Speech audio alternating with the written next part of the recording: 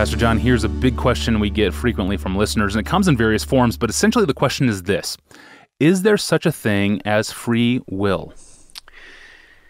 Um, let me pose the question uh, really specifically so that it's not uh, maybe quite that broad, but I think we'll go right to the heart of the matter. Do we have free will in choosing Christ? As our Lord and Savior and treasure. I think that's what the center of the debate is about. And then people can generalize beyond that about like, do you have free will to eat eat a banana? But I'm I'm just talking about do we have free will to to choose Christ as our Savior, our Lord, our treasure. And of course, that depends on the definition of free will. So let's start with one. And I think this is the a definition that those in the debate would agree with. I know that in my debates with Greg Boyd, for example, he's he would use this for what he's defending people ha- having, and I think people don't have in this regard. So here, you have a free will. This is the definition. You have a free will when you have ultimate self determination.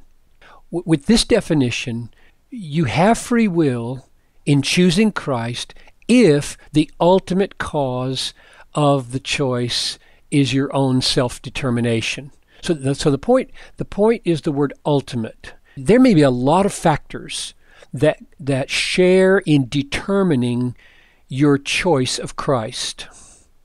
But only one of those factors is ultimate or final. Uh, free will, on this definition, demands that you be that factor, not anything else, and including God. God's not the final, ultimate factor in the choice. You are. Or here's another way to say it you have free will when your will is the decisive cause of your choosing Christ. And the word decisive here has the same function as ultimate. There may be many causes that influence your choosing Christ, but for you to be free, in this definition, the decisive cause, uh, the one that finally decides your choice, must be your will, not anyone else's will, including God. So that's what the debate is about. Uh, when you get to heaven, if God asks you, What's the deepest, decisive reason you believed on my Son? What will your answer be?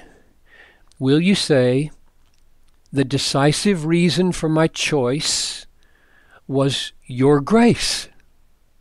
Or will you say, The decisive reason for my choice was me? Now, be sure to, to, to notice carefully the question is not, did we make a choice? The question was not, was our will active and necessary? The question was not, was our choice real? The answer to all those questions is yes, you made a choice. Your will was active and necessary. Your choice was real. That's not the question in the debate. The question is, when your will chose, what was decisive? in bringing that willing about? What was the decisive influence or the decisive cause? And the Bible answers God's grace. And others say your own power of self determination. So um, I'm arguing here now that in choosing Christ, we don't have that kind of free will. That is the power of self determination. And, and here are three kinds of texts that I would commend for people to think about. Number one, we are so morally corrupt we can't do good. We can't believe. Romans 8, 6 and 7. To set the mind on the flesh, or the mind of the flesh is death, but the mind of the Spirit is life and peace. For the mind that is set on the flesh is hostile to God. It does not submit to God's law, and it cannot. So the mind of the flesh, apart from Jesus Christ, cannot submit to God. We love our self-exaltation and cannot submit. Or 1 Corinthians 2:14, the natural person does not accept the things of the spirit for they are folly to him and he's not able. He's not able. He cannot understand them because they are spiritually discerned. So these texts in the Bible says we cannot perceive and submit to God because we are so corrupt. Number two, we, we can't choose Christ. It's finally a gift of God. So 2 Timothy 2.24, The Lord's servant must not be quarrelsome, but kind to everyone, able to teach, patiently enduring evil, correcting his opponents with gentleness. God may perhaps grant them repentance. So repentance is required, and we can't do it on our own. The decisive cause is God may grant repentance. Or Philippians 129 for it has been granted to you that for the sake of Christ you should not only believe in him, but suffer for his sake. So believing in Christ is a gift. It's granted to you because you can't produce it on your own. So Paul says, so then it depends not on the one who wills or the one who runs, but on God who has mercy. And the third uh, text type is what is this experience like then when we choose by another's power. 1 Corinthians 15:10 By the grace of God I am what I am, and his grace toward me was not in vain.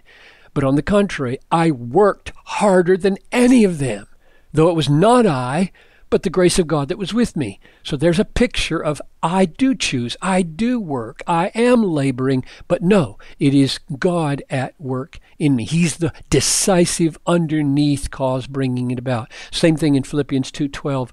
Work out your salvation with fear and trembling, for God is the one who's in you working and in you willing. So your willing is caused by his willing and your working is caused by his working. So here's my conclusion, Tony. If we if we are left to our free will, that is our power of ultimate self determination, we will, all of us, use it to reject Christ.